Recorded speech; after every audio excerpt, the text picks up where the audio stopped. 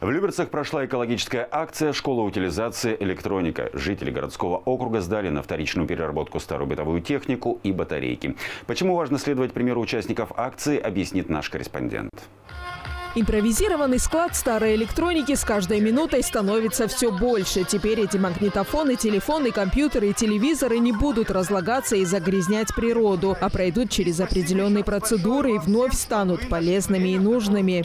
Все, что здесь сегодня представлено, а, пластик, это стекло, это медь, это батарейки. И период распада в естественных условиях составляет от 100 до 500 лет.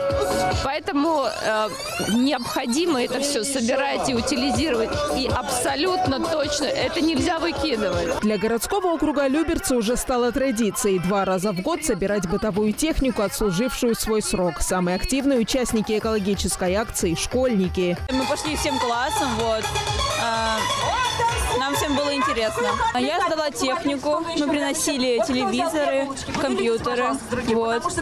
А, Магнитофон был. Я сегодня хочу сказать спасибо организаторам этой акции, кто стоит у истоков организации. Ребята, вам спасибо. Я думаю, вы расскажете своим одноклассникам, школьникам, соседям, друзьям. И я думаю, что мы с вами вот то, что приходит в негодность, не будем просто бросать, а будем правильно утилизировать.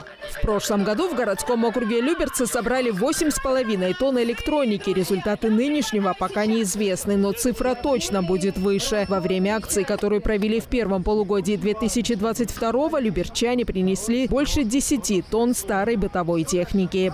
Луиза Игиазарян, Денис Заугольников, телеканал ЛРТ.